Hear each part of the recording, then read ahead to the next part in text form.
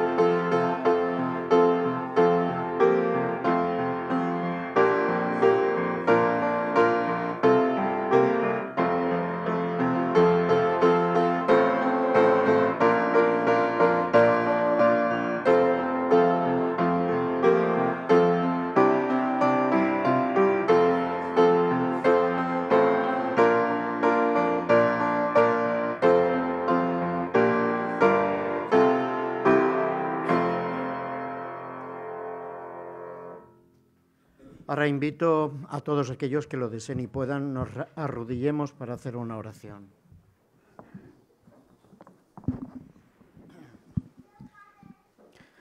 De nuevo, eterno Padre, venimos a ti agradecidos por todo lo que tú nos das y también por todo lo que tú nos quitas. Te damos gracias porque sabemos que estás pendiente de nosotros en todo momento y en este momento especialmente queremos pedir, Señor, que tú envíes a tu Espíritu Santo sobre el pastor para que sus palabras, Señor, lleguen a nuestros corazones y fortalezcan nuestra fe. Te damos gracias por este día de sábado y mientras tú nos regresas, te pedimos que hagas de él un día de gloria y de gozo para nosotros. Te queremos pedir por todos los miembros de la Iglesia de Sagunto que todavía no han llegado, por los que nos escuchan por las redes también y te pedimos por tu pueblo en el mundo entero, en el nombre de tu Hijo Jesús. Amén.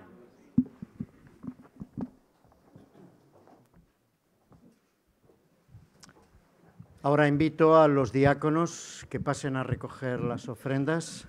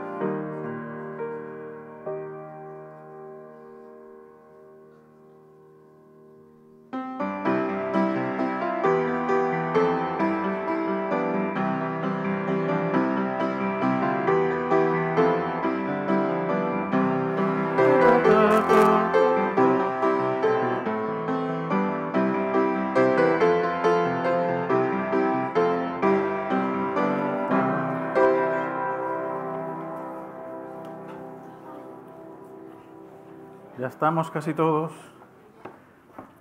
Eh, Podéis poner la presentación, en la del culto está la de la historia, así que si la arrancas, lo vemos todos. ¿Os gustan los pájaros? A ver, ¿a cuántos os gustan los pájaros? Depende qué pájaro. Ah, muy bien, muy buena. Sí, señor, muy buena observación. Porque hay pájaros y pájaros. ¿eh? Incluso entre las personas hay pájaros. Bueno, esto es. Muy bien, hay pájaros bonitos, ¿verdad? Y hay pájaros que hay que tener cuidado. Incluso los pájaros más simpáticos, pues hay que, hay que tener un poco de ojito. ¿Quién tenía un loro muy bonito? ¿Tiene todavía? Muy bien. Los loros tú me enseñaste. Hay que enseñarles que tú eres quien, ha- quien manda. Muy bien, porque los loros, si no, te pegan un picotazo. Así que tienes que darles en el piquito. ¿No hace falta? Aunque sea... Bueno, muy bien. Vale. Os ¿Eh?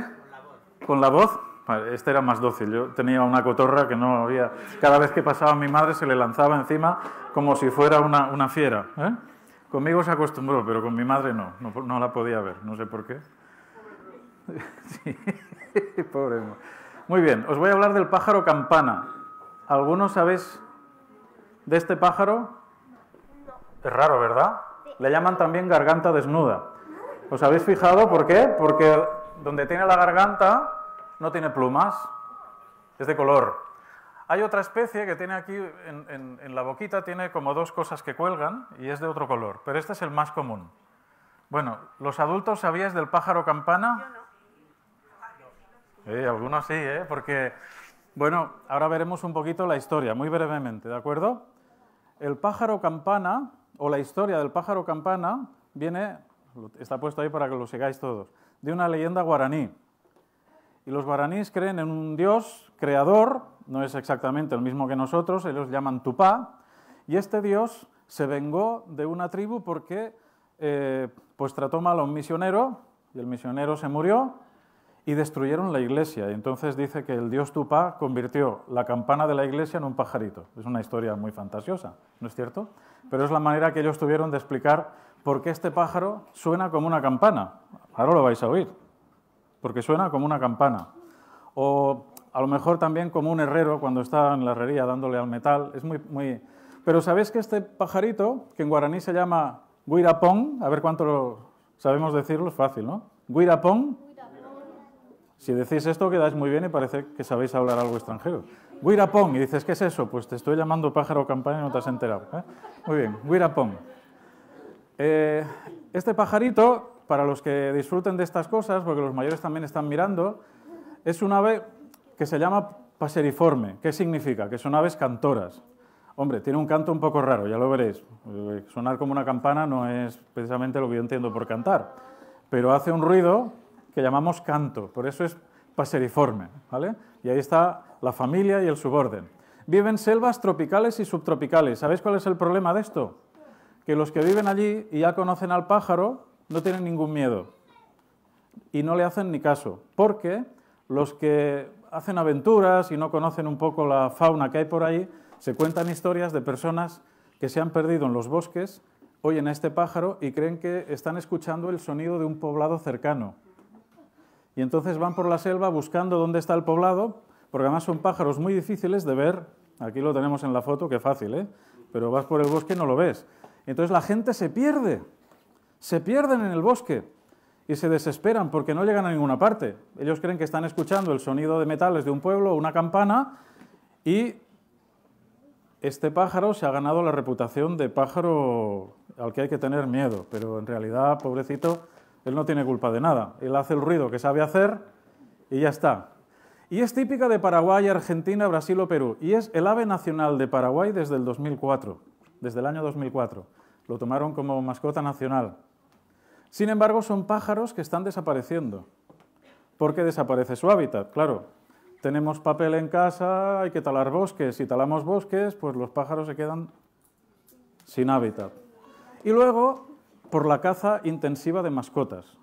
Pues mira, los seres humanos tenemos la manía de encarcelar pájaros y de tenerlos en casa y bueno, pues esto se ve que allí son cotizados también están desapareciendo. Bueno, ahora lo vamos a, vamos a escuchar cómo suena. No sé si tengo que darle dos veces. ¿Sí?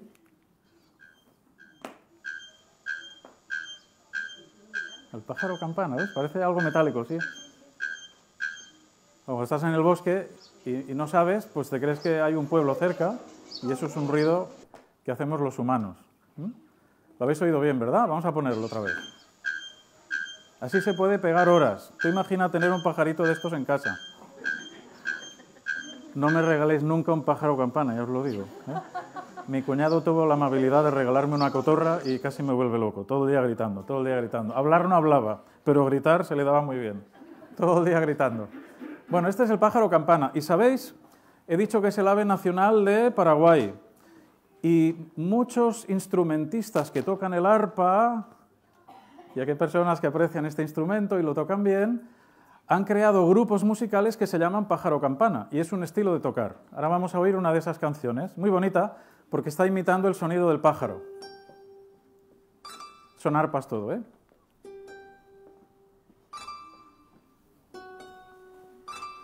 Ojalá cantara así el pajarito, pero el, pájaro solo da una nota, ¿verdad? Esta es la otra especie de pájaro campana. Son bonitos. Y la música es preciosa, no me digáis que no, es una música increíble. Con arpas y pues muy típico de aquella tierra. Y se llaman así los grupos. Los buscáis por internet, también os lo digo a los mayores, pájaro campana. Y os saldrán un montón de grupos de arpistas tocando en este estilo, imitando el sonido del pájaro campana, que es el ave que Paraguay ha apadrinado. Pero está no sé si alguno lo pondrá en algún disco, yo no he escuchado tanto, solo he escuchado esta. ¿Veis? Esta es la otra especie que hay, que tiene como unos bigotes, pero hace... Y hay, distintos ruidos, no todos hacen el mismo ruido, algunos son más fuertes y otros hacen como una campanita que suena casi al silbido. Muy bonito. Podéis buscarlo por internet y lo, iréis, y lo iréis viendo. Bueno, la historia, vamos a pararlo. ¿Vale? Dejaremos ya, porque tiene relación con la historia de esta mañana. ¿Qué me dices? No lo sé, no lo, he preguntado, no, se me ha ocurrido mirarlo por internet. ¿Cuánto vale un pájaro campana? Pero pobrecitos, con lo bien que están en los bosques, ¿no? Con lo bien que están en los bosques. No para que la gente se pierda, claro, no queremos que se pierda nadie, pero cuando tú a veces oyes algo o escuchas algo que no conoces, te puedes perder. Y en realidad al pájaro campana no hay que tenerle miedo. Los nativos, ya como lo saben, pues se han acostumbrado y cuando lo oyen cantar pues no le hacen ni caso. ¿eh? Y siguen porque saben llegar a los sitios. Pero si tú íbamos a un sitio de estos y nos perdemos, pues es un poco complicado. Nunca, si estamos en Paraguay, en Brasil, en Perú, etcétera, y oímos este ruido, no tiene nada que ver con ruidos humanos, ¿de acuerdo? Así que puede sonar metálico, pero no tiene nada que ver. Claro, podría, claro, podría engañarnos porque suena, ¿eh? Suena. Y algunos. Sí, sí. Algunos vídeos todavía se oye un poquito mejor. Bueno, la historia es, vale la pena no hacer caso de algunas cosas, no tenerles miedo. Hay cosas a nuestro alrededor que aunque no conocemos, no por eso tenemos que tenerles miedo. Pero cuando algo no lo conocemos, solemos tener miedo. ¿Eh? Un día en la escuela sabática, en mi grupo, vamos a hacer la prueba. Yo os pediré que metáis la mano dentro de una caja, no os voy a decir lo que hay dentro, y en la caja habrá serrín. ¿A quién se le suele poner serrín? Serrín es madera muy, muy rayadita, muy, muy hecha polvo. ¿Puede haber algún bichito? El temor a lo desconocido. No os voy a poner un bicho, pero no sabéis lo que vais a encontrar. O igual lo hacemos en una historia de niños y algún mayor va a picar también. ¿Qué habrá dentro de la caja? ¿Habéis visto a personas que tienen miedo cuando meten la mano dentro de una caja? ¿Sabes por qué? Porque no sabes lo que hay dentro. Puede haber un calcetín o puede haber una iguana. ¿eh? Una tarántula. ¿Una tarántula? ¿Quién tiene miedo a las tarántulas?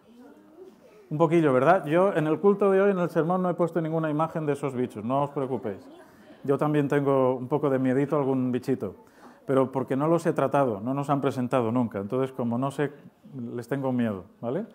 Pero no, hoy el culto va de no tener miedo, ¿de acuerdo?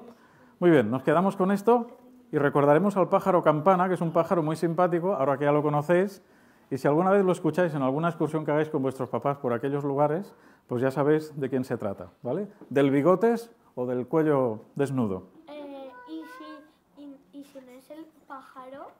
Ah, ese es el dilema, que resulta que a lo mejor hay un pueblo al lado que están ahí machacando el hierro en alguna herrería y no vas porque crees que eres el pájaro campana. Por eso es peligroso perderse en esos bosques cuando no sabes dónde vas. Porque y si sí, como suele decir la broma, y si es verdad que hay un pueblo cerca, buena pregunta. Bueno, nosotros tenemos... y te recuerdas el camino. Bueno, eso es, esa es la cuestión. En esos sitios no se puede ir solo. Siempre hay que ir de la mano de alguien que sabe más que yo, y así no tengo miedo. Y para que no pierda, hazlo un camino así. Ah, Claro, claro. No pongáis migas en el camino por si se la comen los bichos. Pero si sabemos hacer pistas, hoy en el Club de Conquistadores aprendemos a hacer pistas, ¿a que sí? Bueno, pues en sitios donde uno se pierde más vale dejar una señal para luego saber volver y no tener miedo. Pero siempre es mejor ir de la mano de alguien. Y en la vida que vivimos todos, para no tener miedo, hay que ir de la mano de del Señor, de Jesús. Muy bien. Ok, seguid disfrutando todo lo que podáis del tema de esta mañana. Gracias.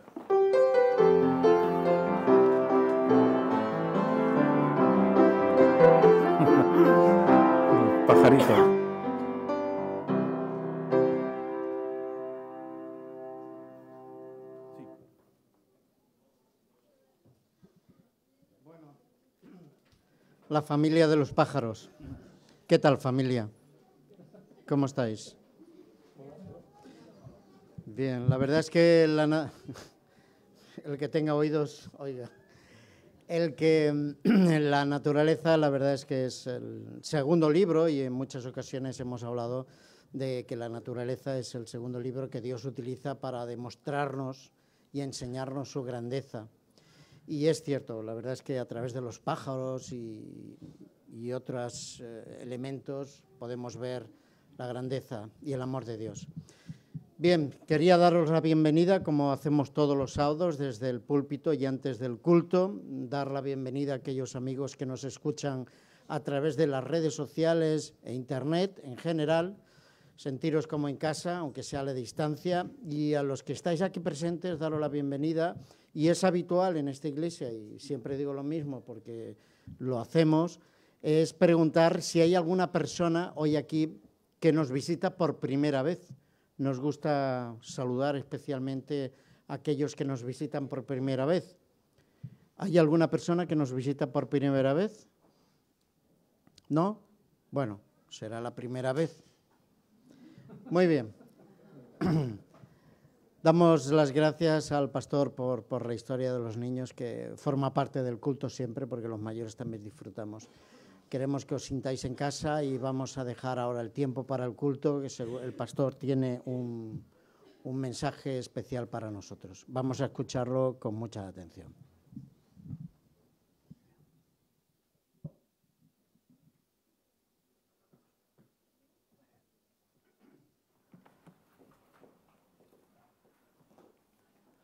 Todos habéis visto esta foto alguna vez, ¿verdad? ¿Sí? Es una foto muy conocida. ¿Cuántos conocíais esta fotografía? Vamos a ver. No está mal. ¿Sabéis quién era el fotógrafo? Uy. Charles Evans, un Carlos. Es que los Carlos hacemos cosas extrañas. Nos hacemos pastores, hacemos fotos en las alturas. No, no tiene truco la foto, ¿eh? Es de verdad. Rascacielos, Waldorf, Astoria, en fin, entre muchos otros. Este fotógrafo se dedicó a fotografiar pues, a la gente en las alturas. Ahora veremos alguna foto más. Pero antes me gustaría que fuéramos a Isaías, para que ya un pensamiento nos acompañara. Hemos hablado los niños de no tener miedo, de ir de la mano de alguien que sabe. Nosotros vamos de la mano de Dios por la vida, y por lo menos cuando vamos nos va bien. Y el texto de Isaías 41:10, hay muchos textos que podíamos haber elegido. Este me gusta mucho. No temas, que estoy contigo. No te angusties, que yo soy tu Dios. Te doy fuerza y voy a ayudarte. Te sostiene mi diestra salvadora. No me digáis que no es un texto precioso. Cuando uno se ve en situaciones en la vida, ¿alguno tiene miedo a las alturas? Venga, va. Bueno, al- algunos compartimos, ¿eh? Que dices, "Ah, en principio no, pero ahora te ponen a ti con los ojos cerrados. Venga, que te llevo. Anda rectito, ¿eh? Tú no sabes, notas el viento y tal, y, te meten en la viga esta y te abren, te quitan la cinta. ¿Cómo te sientes? Ah, claro, nadie tiene miedo a las alturas hasta que lo ponen en un avión. Venga, salta.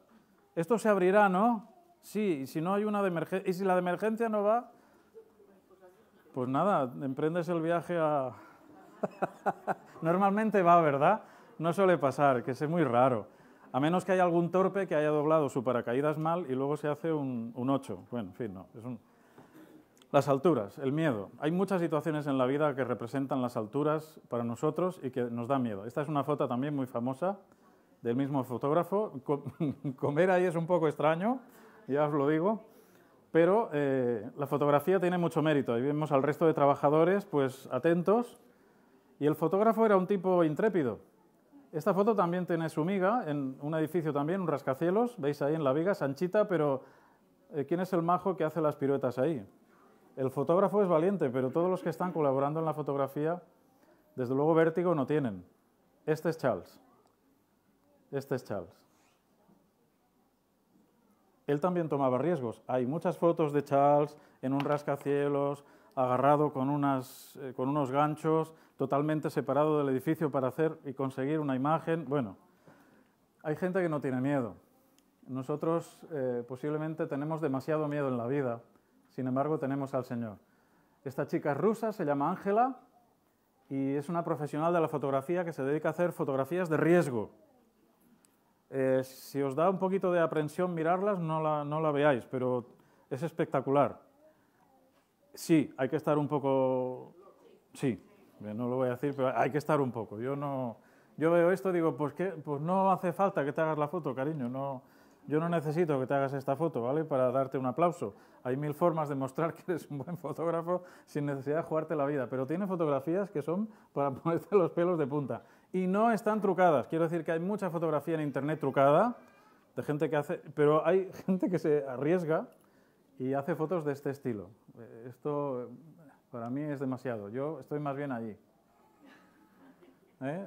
¿Cuántos hemos tirado desde un trampolín a la piscina? El trampolín que hay a pie de agua, pues fácil. Aún así te da cosilla y cuentas hasta 10 varias veces. Así que de 10 en 10 hasta que te tiras. Pero ¿alguna vez os habéis tirado desde un trampolín bien alto? Yo he subido. Sí, yo, yo tengo una pega, es que no repito nunca, pero la primera vez caigo. No sé si tenía 16 años con mis amigos. Claro, y si no, si no eres gallito, pues eres el cobardica, ¿no? ¡Ah, se tira uno, se tira otro! ¡Va, Carlos, tírate! ¡Espera! ¡Va, que subo y te empujo! ¡No, no! Yo ya me agachaba. Bueno, me tiré una vez y no sé si mi caer natural es un poco extraño. No, no fue la entrada en el agua no fue... Bueno, no, no, repetí demasiadas veces, aún así lo probé alguna vez. Ya a estas alturas yo ya no probaría nada, os lo puedo asegurar. El miedo. La pregunta y la reflexión de esta mañana es, ¿el miedo siempre es malo? Muy bien. Somos gente sensata, que sabemos que el miedo tiene una función y que no está, no está ahí simplemente para inutilizarnos y bloquearnos. Hay momentos en que es legítimo tener miedo, pero fíjate, este caso de la Biblia es muy bonito porque alguien oye la orden de Jesús, ven, y se lanza al agua, no se lo piensa dos veces, Pedro. Además el mar estaba agitado, no, era un día de calma chicha, se tiró Pedro al agua y... pero andó sobre el mar. La sorpresa, no sé si la sorpresa, pero sí, supongo que sí, porque para hacer esto lo de Pedro no era de pensar mucho. Yo creo que se lanzó a la barca y cuando se vio andando sobre el agua no se lo podía ni creer.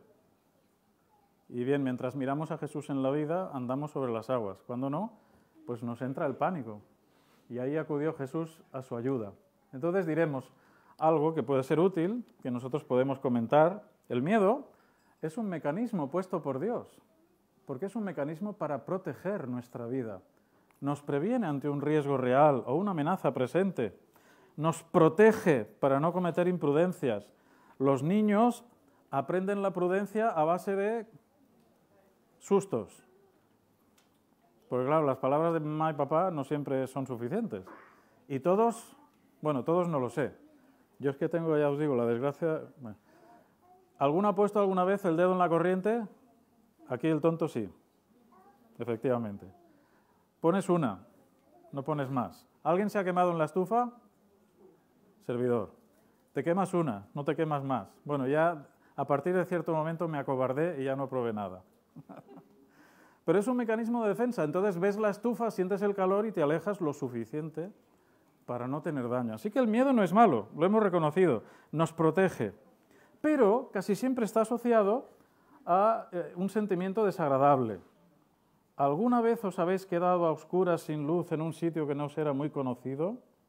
Porque hemos dicho que el miedo se basa en, nuestro, en nuestra ignorancia. No sabemos, tenemos miedo.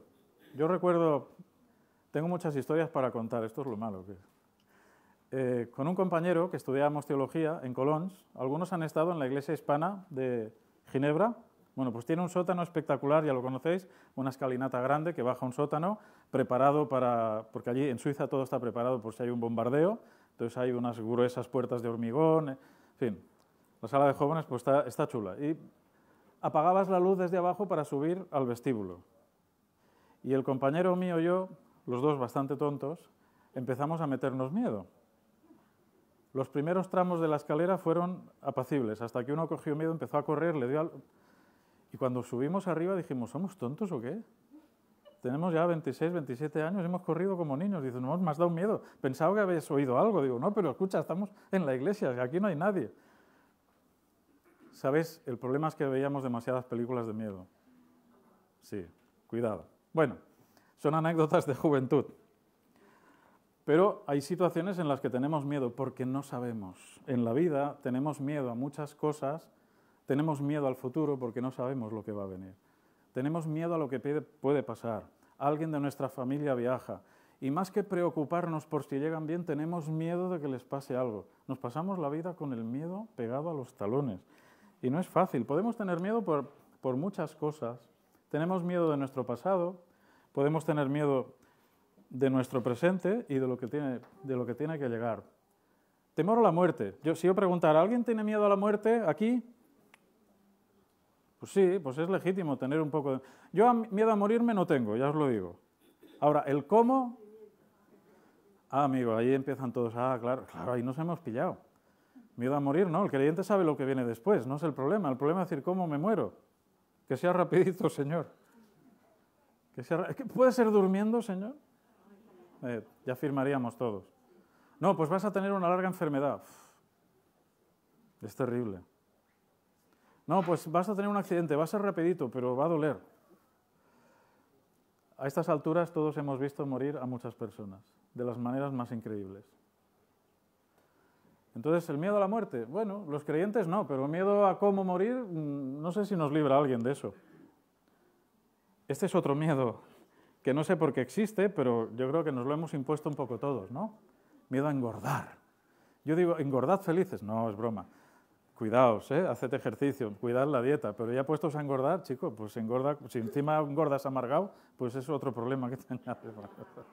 Ya me entendéis, ¿verdad? Que no es malo sonreír un poquito. Miedo a engordar, sí, la báscula es ese, elemento terrorífico que hay en tu baño o en tu cuarto, algunos se lo ponen más cerca para sufrir más, que dices, ¿me subo o no me subo? Me mira con ojillos. No sé si subirme. Va, sube, tonto. Bueno, no sé, va, que no. Y subes y, luego te da, le gusta la báscula darte sustos. Sube, va, que no, si te ves bien. Y te dice 100 kilos. Y tú te la quedas mirando y le dices, lo sabía, tú también lo sabías. Y ella, pues las básculas tienen cara de risa. ¿eh? Solo tienen un ojo algunas. Peor todavía. Bueno, miedo a engordar. Es un miedo absurdo. Lo que tenemos miedo es a ponernos enfermos, ¿no es cierto? Miedo al amor. ¿Te ha ido mal una vez en la vida? ¿Y si te, va mal dos? ¿Lo has pasado mal? ¿Y si volvemos a repetir la misma desgracia?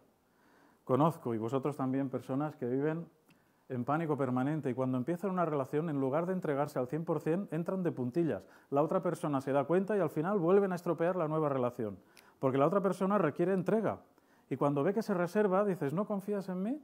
Comprendo lo que has pasado, pero yo no soy esa persona que tuviste contigo. Quiéreme porque yo te quiero.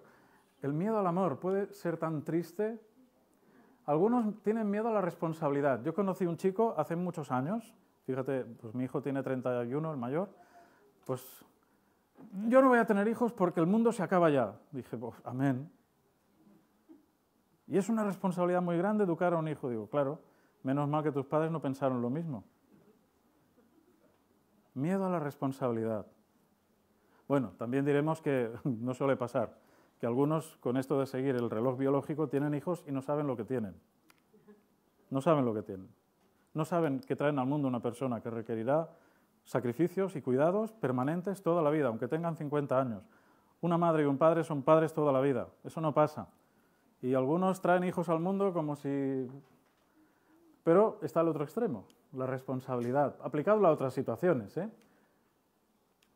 Se van acumulando miedos, miedo a la soledad. Qué triste. ¿Cuántas personas conocéis que se han casado o han estado con alguien que ni quieren ni les convenía solo por no estar solos?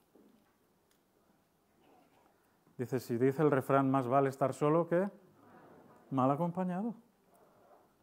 El miedo a la soledad es terrible. Hay gente que vive en pánico pensando que se queda sola. Conozco gente. No es el miedo a la mar, ¿eh? ahora viene encima. Miedo al trabajo. Tienes un jefe que tiene esa cara, a lo mejor no la tiene, pero tú la ves así. ¿No? El jefe es el que cuando llegas al trabajo ya crees que te está culpabilizando de todos los males de la empresa, nada más pisar. Que te trata mal, que te ningunea, que te trata como si fueras un esclavo, que ni siquiera te mira cuando te habla, solo te da órdenes que te hace la vida imposible. Miedo al trabajo, sí, miedo al, jefe, miedo al ambiente. Hay gente que vive mal. Esta semana mi esposa hablaba con una amiga suya de cuando estudiaba en el colegio que está pasando un verdadero calvario con un tipo que le amarga la vida en el trabajo. Le están ya en, juicios y todo. Terrible. Le ha contado cada cosa que dice, ¿será posible? Miedo al trabajo. Miedo a los sentimientos, ya no es responsabilidad, ya no es el amor en general, ¿no? Hay personas que prefieren vivir solas, es el otro extremo, con tal de no padecer. Y yo siempre pienso y siempre digo, y siempre les digo a todos, a los matrimonios que empiezan, digo, si, si amas vas a sufrir, hazte la idea. Porque en este mundo el amor no está exento de sufrimiento. Tienes que sufrir. Ay, no, no, no, escucha. No existe el príncipe azul, no existe la princesa encantada. Todos somos ranas. Nos damos un beso y seguimos ranas. ¿Me explico? Sí. Y por los hijos también se sufre. No importa la edad que tengan, ya te queda para la vida. Dices, ay, con 40 años la que acaba de liar ahora. Pues mientras no la líe el papá o la mamá. Bueno. Ay. Este miedo me da más, más penita. Miedo al maltrato. Miedo al maltrato. Cuando en una relación se establecen situaciones viciadas donde una persona es capaz de poner a la otra 200 por hora, cuando la otra trata mal al otro. Algunos tratan mal porque tratan mal y otros tratan mal la violencia en general es mala. Yo digo, no importa el género, no importa, la violencia es mala, siempre. Y sabéis, los más perjudicados son los niños que ven eso, porque algunos crecen pensando que hay que tratar así a su papá o a su mamá. No todos, afortunadamente. Así que vivimos rodeados de miedo, no lo podemos evitar, pero sí que podemos aferrarnos a quien nos puede dar un poco de tranquilidad. Y ahí ya pongo la imagen. Jesús era una persona que vivió sin miedo. ¿Os lo creéis? Claro que sí. ¿Cuántos lo creen? Ah, porque hay que creerlo bien. Eh. Algunos no levantan la mano, pero sé que lo creen. Ahora, yo preguntaré, ya voy avanzando, el tema. ¿Jesús tuvo miedo alguna vez? Sí, sed valientes, claro que tuvo miedo. Y lo vamos a repasar, eh, porque no... Sin embargo, él sabía cómo iba a morir. Madre mía, la gente quiere saber del futuro, pero si a ti, a ti te dicen, mira, vas a morir a los 35, vamos a poner una edad que duela y vas a tener un cáncer que va a tener reconcomido en la cama con dolores hasta el último segundo. Te van a traicionar todos. La gente por la que vienes a dar la vida te ignora. Te han ignorado desde el principio. Llegaste, llegaste al mundo de puntillas. Te persiguieron desde la infancia. Casi logran matarte. Tuviste que huir a tus padres a otro país. En general vas a estar hablando todo tu ministerio y no se va a enterar nadie de lo que estás diciendo. Van a darse cuenta de todo lo que has dicho cuando ya no estés. Y cuando lo pases mal, tus tres más allegados se van a quedar fritos. Y uno de los doce te va a traicionar. Morirás en una cruz, pero antes de la cruz vas a sufrir como poca gente ha sufrido, porque el diablo se va a encargar de que lamentes cada segundo en el que has puesto el pie en la tierra. Jesús y vivió sin miedo y él sabía cómo iba a terminar. Es que además estaba en las escrituras. No tuvo que inventarse nada. Y Jesús vivió sin miedo. Sabía cuál era el plan y sabía cómo iba a terminar. Pero no pasó la vida temiendo o sufriendo por anticipado, que esta es el, peor, la peor consecuencia del miedo. Va a pasar esto, va a pasar lo otro, ay si pasa esto, ay si pasa lo otro. Y luego ni esto ni lo otro ha pasado. Ha pasado una tercera que no te imaginabas. Todavía peor. Bueno, esto es un poco el chiste, ¿no? O no, o no ha pasado nada, simplemente. Pasamos demasiado tiempo sufriendo. Y Jesús sabía. Mateo, vamos a buscar, hay que leer los textos, Mateo 6, 25 al 35. Jesús habló de esto y habló con palabras muy sabias. Por lo tanto os digo, no andéis preocupados pensando qué vais a comer o qué vais a beber para poder vivir, o con qué ropa vais a cubrir vuestro vestido, o cómo vamos a pagar la factura de la hipoteca, o cómo vamos a pagar la factura de la luz. ¿Sigo? ¿Es que no vale la vida más que la comida y el cuerpo más que la ropa? Mirad las aves. Esta mañana hemos hablado de aves. Mirad las aves que vuelan por el cielo. No siembran, ni cosechan, ni guardan en almacenes y sin embargo vuestro Padre Celestial las alimenta. Pues vosotros valéis mucho más que esas aves. Por lo demás, ¿quién de vosotros, por mucho que se preocupe, podrá añadir una sola hora a su vida? ¿Y por qué preocuparnos a causa de la ropa? Aprended de los lirios del campo y fijaos cómo crecen. No trabajan ni hilan, y sin embargo os digo que ni siquiera el rey Salomón con todo su esplendor llegó a vestirse como uno de ellos. ¿Cuántos trajes de sábado tenía Jesús? Pregunta fácil. ¿Cuántos trajes de entre semana tenía Jesús? Pregunta fácil. ¿Cómo debía oler Jesús? No, está broma, no, pero... No, no, Jesús no tenía armario, ¿eh? Y cuando le dicen, ven, ah, vamos contigo, bueno, que sepáis que yo duermo en una piedra, ¿eh? Seguir a Jesús. Ah, qué fácil, ah, los apóstoles, qué poca fe tenían. ¿Tú estarías dispuesto a seguir a Jesús y a dormir a la intemperie? ¿Cuántas veces durmieron a la intemperie? Hotel Etoile, ¿no? Se dice. Hotel Estrella. El Hijo del Hombre no tiene dónde recostar la cabeza. Toma. ¿Qué armario tenía Jesús? Una túnica sin costura. Debió de ser buena porque luego la rifaron. Necesitó bañarse en el río tantas veces como pudo. Pero la mayoría de, de personas cuando descubren a Jesús, Elena White habla de esto, descubren a un hombre sudado, polvoriento de andar, Jesús recorrió, dicen que cerca de 40.000 kilómetros a lo largo de su ministerio, andando. En tres años y medio no está mal, ¿eh? no está nada mal. ¿Cómo imaginamos nosotros a Jesús? Todavía lo vemos con túnica, con una túnica blanca, impoluta, perfecta, ¿verdad? A lo mejor es esa persona que te sientas al lado de ella y dices, hermano, ponte un desodorante, ponte un desodorante. ¿Qué imaginamos de Jesús? El Jesús perfectito, que nos casa dentro de nuestro canon, que tiene todas las comodidades, que tiene una cocina donde hacerse una tortilla, que tiene un montón de túnicas para ponerse todos los días. Perdonad, hermanos, pero todavía en nuestra mente Jesús está demasiado perfecto. Y Jesús era no, no solo era una persona que no llamaba la atención, no decimos que fuera feo, pero era una persona del montón. No tenía armario Pasaba más tiempo en la calle que bajo un techo. Se pasaba la vida andando y eso hace sudar. Por favor.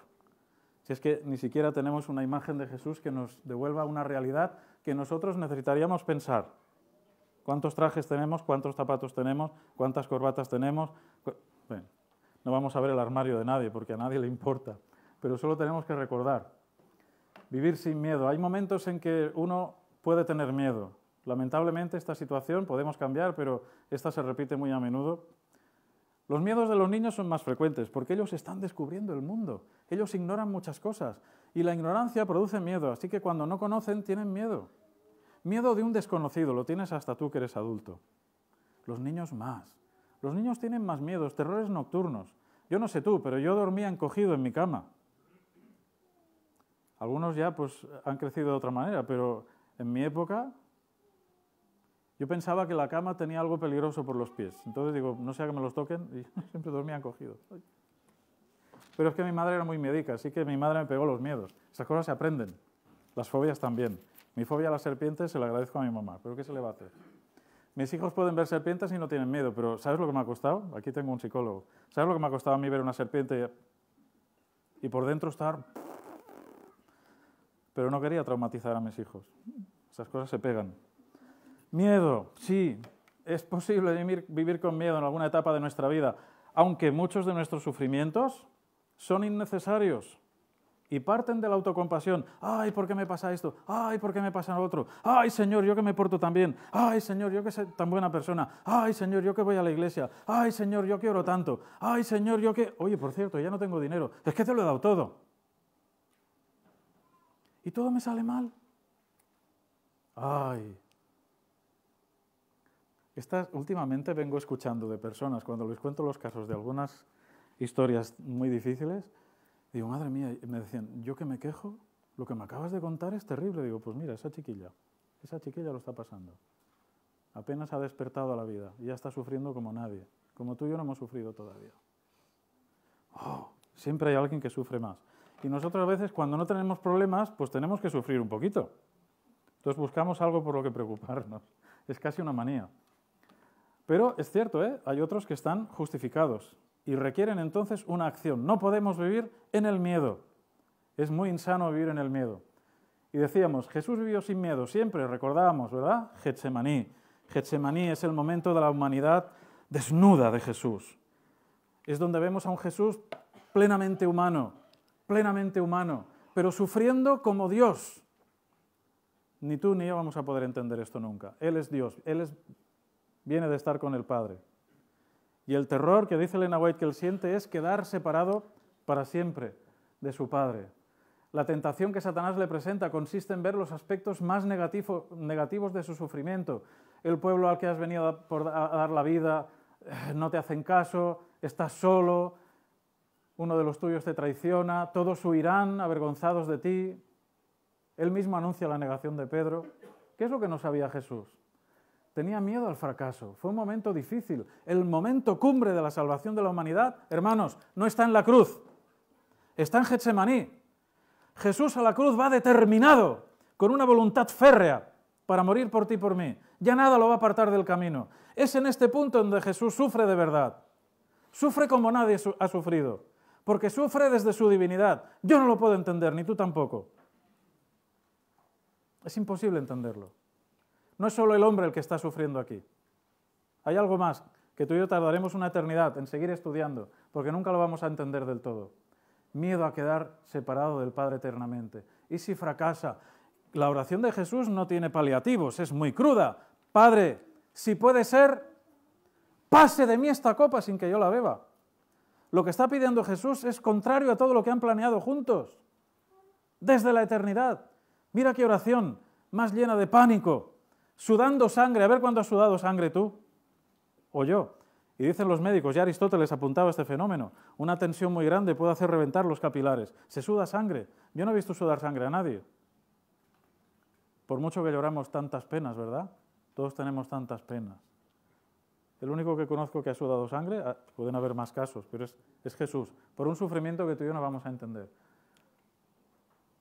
En ese caso sí que estaba justificado tener, tener miedo, un temor normal, lógico.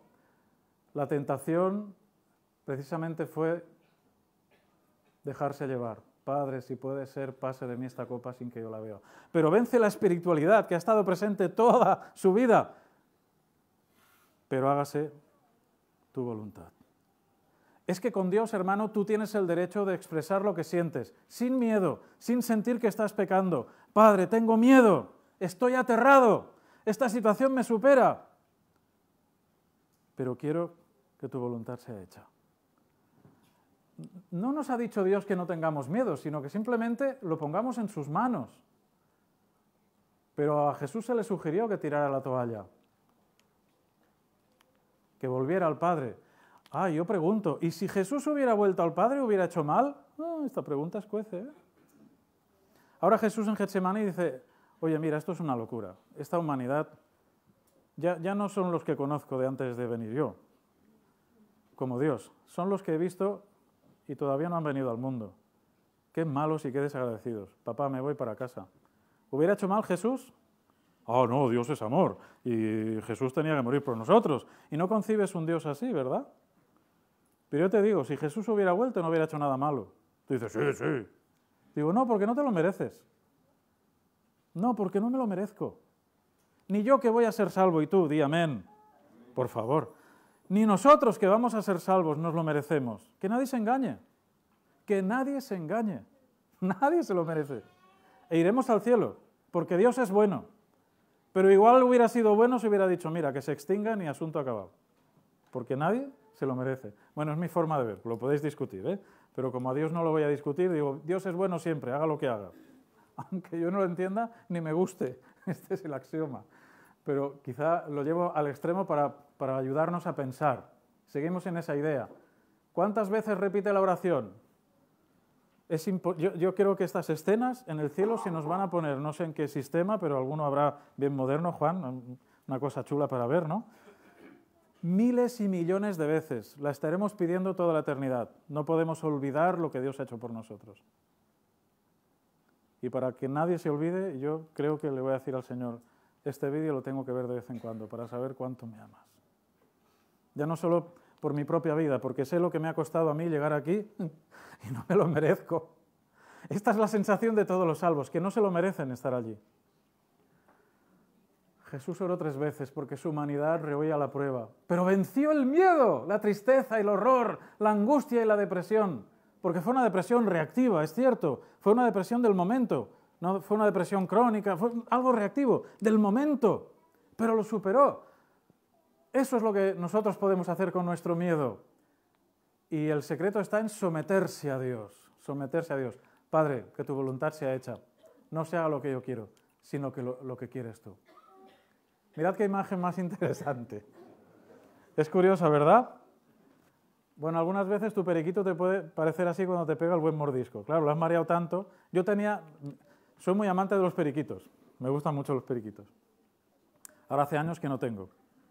Pero yo no hago más que decirlo en casa y nadie me regala un periquito. Son miserables. Pero bueno, esto no he dicho nada. ¿eh? Pero yo a mis periquitos les ponía, les ponía hasta, bueno, ropa no porque no se dejaban, pero cascos Cogía mi Madelman, el soldado le ponía el casco del soldado y el pobre periquito allá aguantando. Claro, aguantando porque lo tenía sujeto. Pero cuando se cansaban pegaba un mordisco, ¿no? Pues pero ya hay confianza, tú muerde. Yo te sigo probando cascos. Y el pobre animal. A veces hay personas que podríamos ser muy dulces, pero mira que, cómo se nos queda. Porque el miedo, el miedo puede hacernos estas cosas. Lo que estamos haciendo hace un rato es normalizar el miedo. Es normal tener miedo. Tener miedo no es pecado. Jesús tuvo miedo y no pecó, nunca. Pero Getsemaní es el grado máximo del miedo de Jesús y no fue pecado. Tener miedo no es pecado. El miedo se lo entregamos al Señor. Señor, tengo miedo, estoy asustado, ayúdame. Lo que produce consecuencias negativas y desórdenes de conducta es dejarse arrastrar por el miedo, bloquearse. Tú ves dos situaciones, ¿no? Eh, están dos andando por la calle y ven caer un piano desde el quinto piso. Uno intenta marchar, no sé si la velocidad del piano y lo que pesa le da tiempo a marcharse, y el otro se queda mirando. Claro, se muere. No es que sea perezoso, es que el miedo paraliza. Y cuando tenemos miedo del bueno, ¿no? Porque eso es cercano al pánico, no actuamos con normalidad, no pensamos. Vemos un, un animal peligroso para nosotros y ¿qué hacemos? Claro, entre otras cosas pensamos, a ver si corriendo le incito a seguirme, no sea que el problema sea peor. A ver, pero a ver quién es el majo que lo hace, ¿verdad? Si ves un tigre, no corras, te dicen. Sí, claro, me lo voy a encontrar allá a la vuelta en el camino real, ¿no? Claro, no es tu caso. Pero si ves un tigre, no corras. Porque si corres, no te agaches, porque ellos creen que tu altura es igual a lo que mides detrás, ¿sabes? Los tigres no piensan tanto, entonces ven una persona de 1,80, de 1,60 y piensan que todo el cuerpo es así de grande y que son más o menos elefantes. Así que, sin intimidarlo, dicen que hay que quedarse quieto. Merienda segura para el tigre, ¿sabes? Pero es lo que dicen. Yo, por si acaso, al final, ¿qué hacemos? Pues yo sí me quedo orando y digo, Señor, hay un tigre ahí con hambre y yo, pues me he cuidado de, me he cuidado de que tenga un buen bocado. Ayúdame. La vida es esto. Señor, ayúdame. Tengo el tigre delante. Me excede este problema, me excede. Hay momentos en que tener miedo es normal, no es pecado. Solo tienes que pedirle a Dios, porque el problema está más allá de tus circunstancias. Esto nos pasa muchísimas veces. Como decíamos, es un mecanismo de defensa. está pensado biológicamente, nos ayuda a sobrevivir y a encontrar respuestas rápidas ante situaciones. También se da el caso contrario, en una situación de, de alarma y tal, ¿cuántas veces, esto lo he visto yo o lo has hecho tú, alguien que está a punto de sufrir un daño, puedes quedarte viendo cómo le aplasta el piano o si estás, es el mismo ejemplo, estás detrás y no sabes cómo.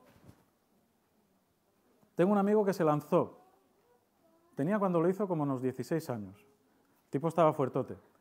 Pero alguien en Barcelona, muy cerca de mi casa, pasó la, la calle y él iba justo detrás. Yo no sé cómo, pero se lanzó con tanta fuerza para salvarle la vida que acabaron los dos rodando en la acera, pero evitó el atropello de esa persona. Cuando lo contaba él mismo no sabía ni cómo lo había hecho. Ese subidón de adrenalina, ¿verdad? Pero no se quedó bloqueado.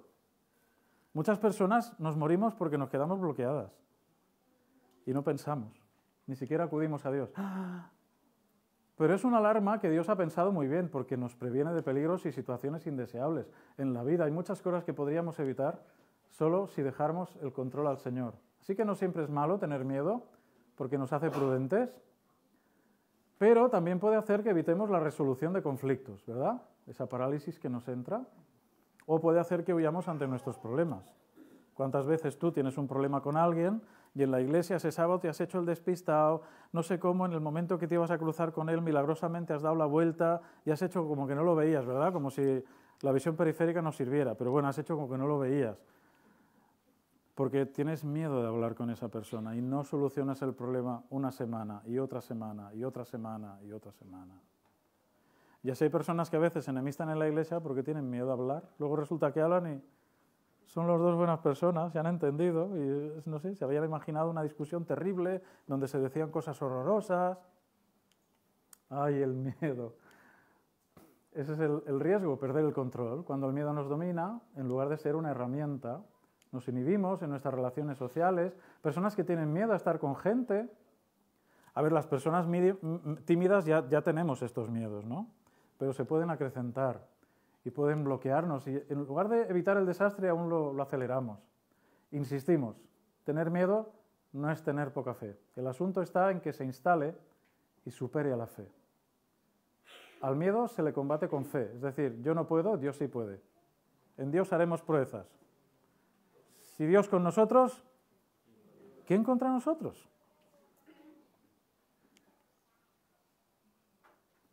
Podemos recordar algunos personajes bíblicos que tuvieron miedo. Eh, recordamos a Adán, ¿de acuerdo? Adán, Elías, muy bien, tan valiente con los profetas de Baal, parecía que se comía al mundo. Y luego se entera de que Jezabel le, quiere mal y le faltaron piernas para huir.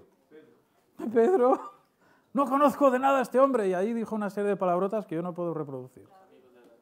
Muy bien, los amigos de... ¿De? de Ajá. Más. Claro. ¿Hay algún personaje, vamos a hacer la pregunta al revés que es más fácil. ¿Hay algún personaje en la Biblia que no haya tenido miedo?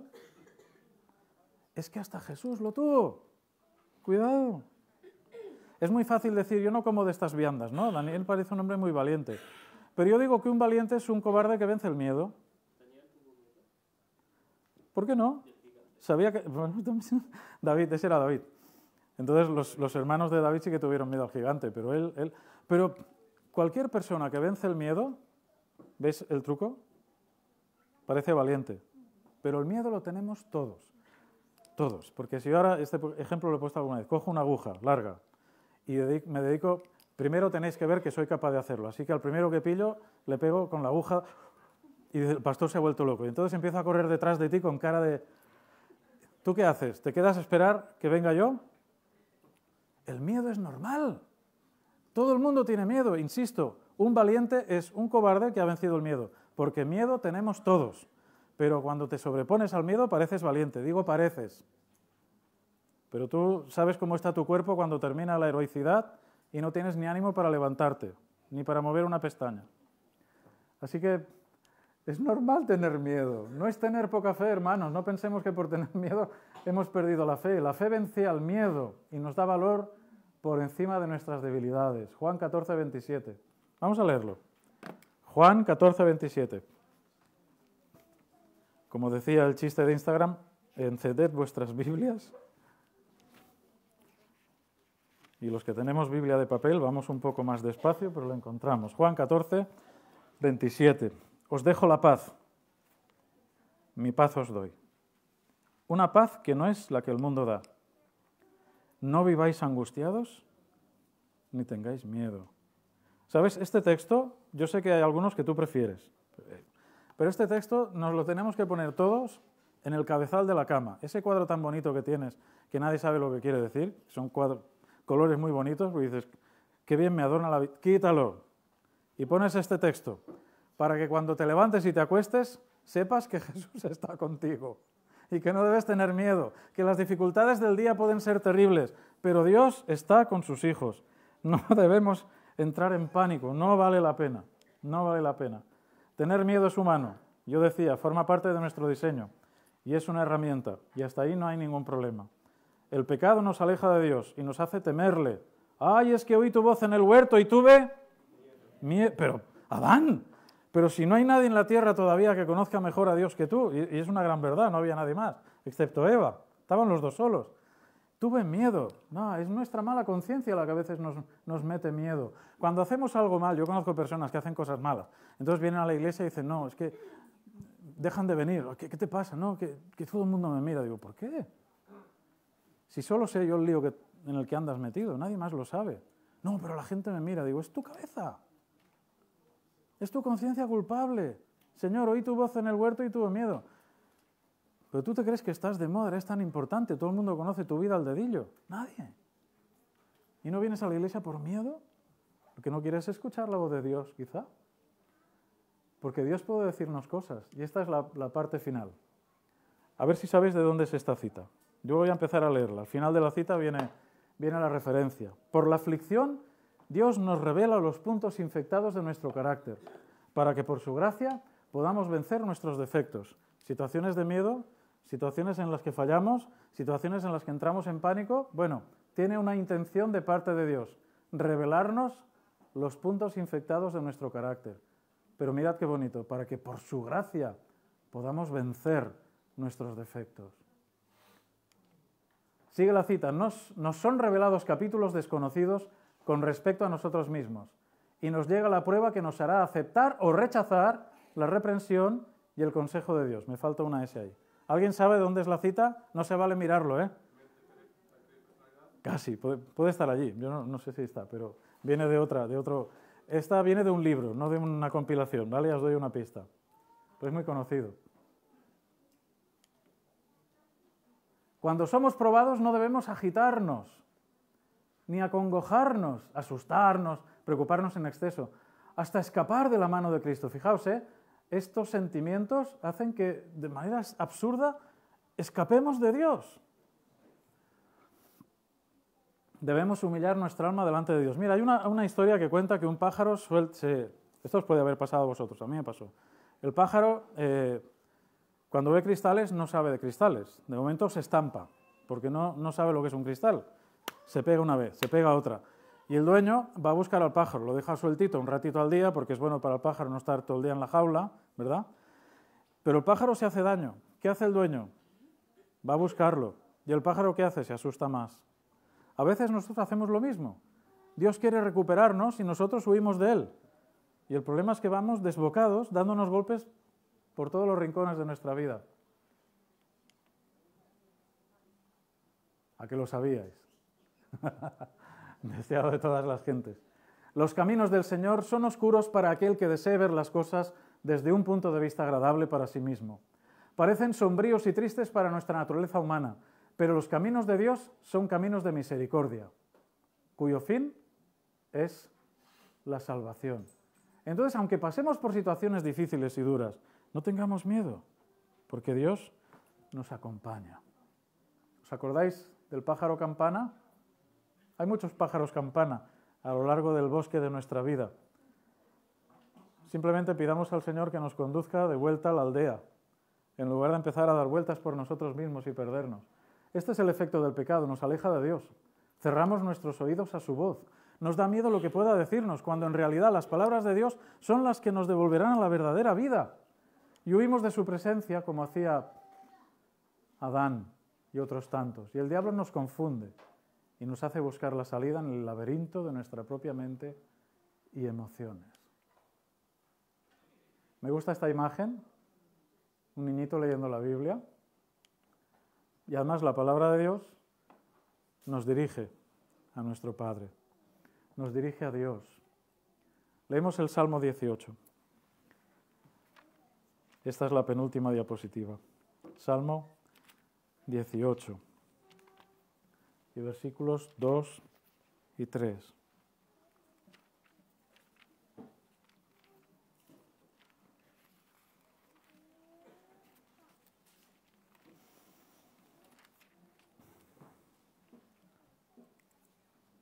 Te quiero, dice el, el, salmista en mi versión, Señor, eres mi fuerza.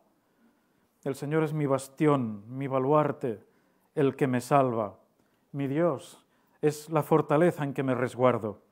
Es mi escudo, mi refugio y mi defensa. Qué bonito este texto, ¿verdad? O el Salmo 91, que es un salmo también muy bonito. Es corto y vale la pena recordarlo tú que habitas al amparo del Altísimo, tú que vives al abrigo del Todopoderoso, di al Señor, tú eres mi refugio, mi baluarte, mi Dios en quien confío. ¿Ves la relación que en el otro salmo? Él te librará de la red del cazador, de la peste asoladora, con sus plumas te resguardará, bajo sus alas te dará cobijo, escudo y amargura será su lealtad. No temerás el terror de la noche, ni la flecha que ondea de día, ni la peste que surca la niebla, ni la plaga que desbasta pleno día. Que caigan mil a tu lado, diez mil a tu diestra, y a ti no podrán alcanzarte. Solo con abrir los ojos verás el escarmiento del malvado, porque el Señor es tu refugio, y has hecho del Altísimo tu amparo. No vendrá sobre ti la desgracia, ni mal alguno alcanzará tu tienda, pues Él ordenará a sus ángeles protegerte en todas tus sendas te, llevarán en las palmas de sus manos, para que tu pie no tropiece en piedra. Caminarás sobre el león y la víbora, pisarás al león y al dragón. Voy a salvarlo, pues se acogió a mí. Lo protegeré, pues me conoce. Me llamará y le responderé. Es Dios quien habla. Estaré con él en la, angustia, en la angustia, lo libraré y lo engrandeceré. Le daré una larga vida, le haré ver mi salvación. Es un salmo mesiánico. Pero hermanos, ¿podemos reclamar el cumplimiento de esta promesa en nuestra vida? Claro que sí. Y el secreto final está en lo siguiente. Tener memoria. No tenemos nada que temer del futuro. Qué cita más preciosa. No tenemos nada que temer del futuro a menos que olvidemos la manera en que el Señor nos ha conducido y lo que nos ha enseñado en nuestra historia pasada. Y tú vas a hacer la conclusión, hermano. Esta es la parte interactiva. Cuéntame ahora o comparte con los demás cuál es el texto que más de una vez te ha sacado del atolladero. Compártelo. ¿Alguien quiere compartirlo? Venga, adelante.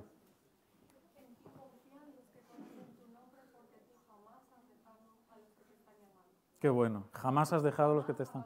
Abandonaste a los que te están llamando. Más. Salmo 9 y 10. ¿No es precioso? Claro que sí. Venid a mí, ¿verdad? Los que estáis cansados y cargados. Más. Sí, Señor, siempre. Jesús está ahí todo el tiempo. No se va, no duerme. ¿Algún texto más que queráis compartir? José 1.9. No temas ni desmayes. Bueno. Sí, Señor. La Biblia está llena de promesas. ¿Quieres compartir alguna más? Seguro que hay alguno. Salmo 37, versículo 5. Entrega tu camino al Señor, confía en Él y Él hará. Estos textos están anclados en nuestros genes. Cuando nos han levantado casi de la muerte, del pánico, del miedo, de la angustia, de la preocupación. Paco, compañero.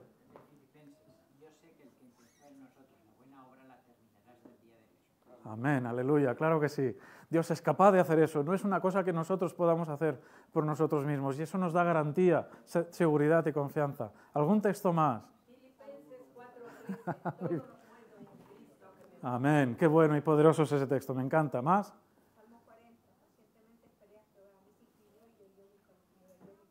Qué bonito.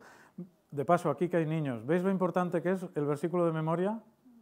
Pasan los años y eso se te queda ahí y algún día viene a tu mente en el momento más oportuno. Porque algún día quizá no tienes la Biblia encima, pero Dios pone en tu memoria el recuerdo de ese texto precioso. Es increíble. ¿Alguno más?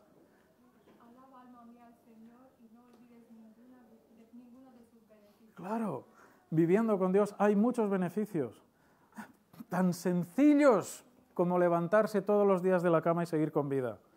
Es que a veces no valoramos ni esto.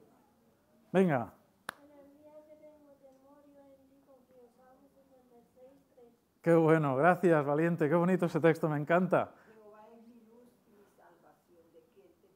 Qué, qué bonito, qué bonito, gracias, se me ponen los ojos lagrimosos. Es hermoso escuchar esto porque estáis compartiendo parte de vuestra intimidad, aunque no contáis la historia que hay detrás. Pero estos textos han sido salvavidas en nuestra vida más de una vez. ¿Alguno más? Salmo 23, Jehová es mi pastor, nada. Claro. Jehová es mi pastor, nada me falta. Dime. Salmos 32, 8. Fijaré mis ojos sobre ti, seguiré el camino que debes hacer. Qué bueno. Cuando vamos perdidos por la vida, si no tenemos más que esperar que Dios nos dirija, pasa que a veces la impaciencia nos consume, ¿verdad? ¿Algún texto más? Ese era uno de los textos que más me ayudó a mí de pequeñito y de joven. Claro que sí. arraigados y edificados en Él y confirmados en la fe, así como habéis aprendido, rebosando en acciones de gracias. Qué bueno, rebos. Esto es lo que estamos haciendo esta mañana.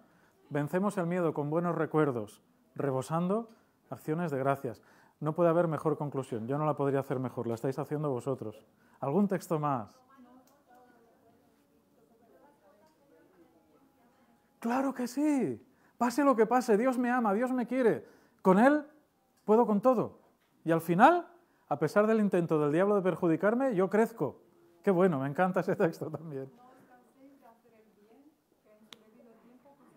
Claro que sí, al final la cosecha llega más. Jeremías 33, 3, clama a mí y yo te responderé. Qué bonito ese texto.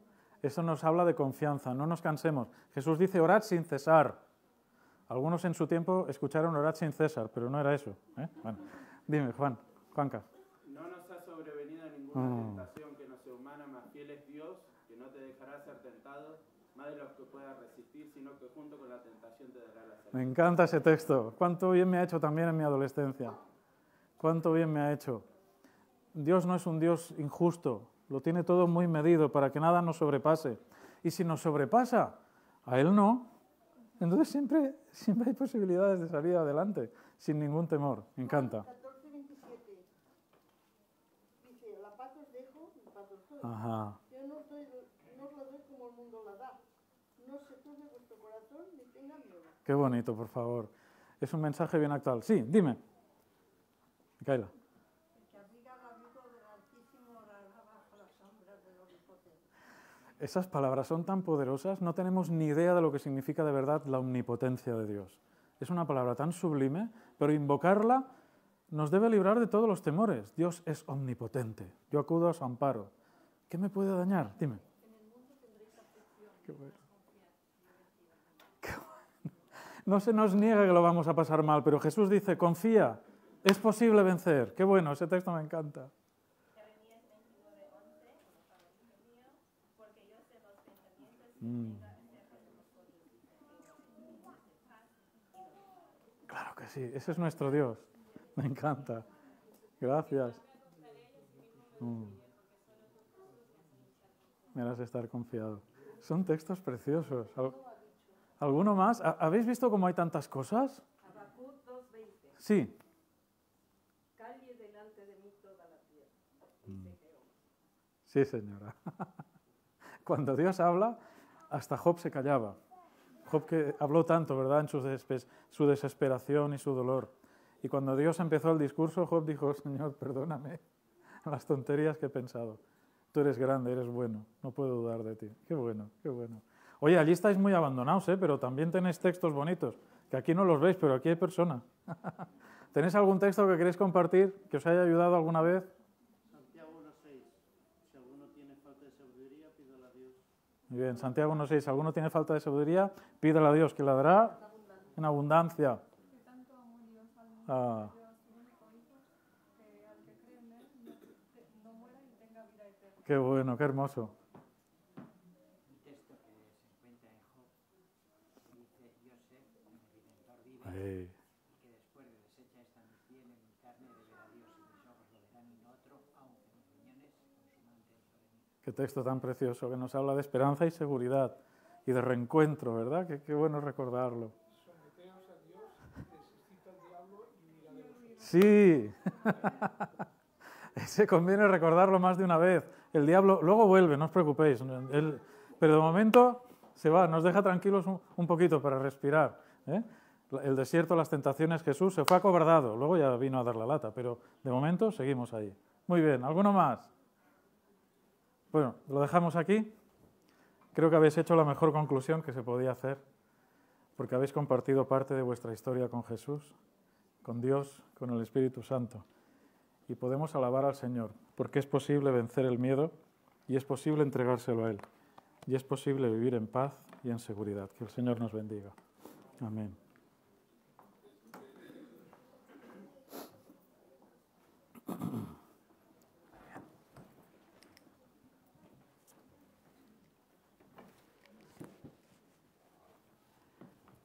Para concluir nuestro lindo sermón, cantaremos el himno del número 404.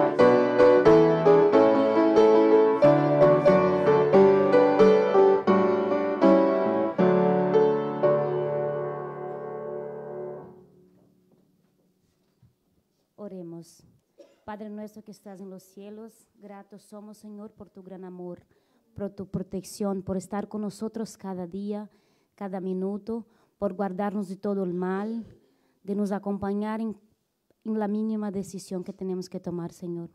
Gracias, Señor, por este sermón, que haya estado tu presencia sobre nosotros, abriendo nuestras mentes, nuestros corazones, para que podamos estar seguros, Señor, en tus manos. Cuida cada familia aquí, Señor, lleve cada uno a su casa, bajo su protección y esté con nosotros, Padre Santo. Te agradecemos en el nombre de Jesús. Amén.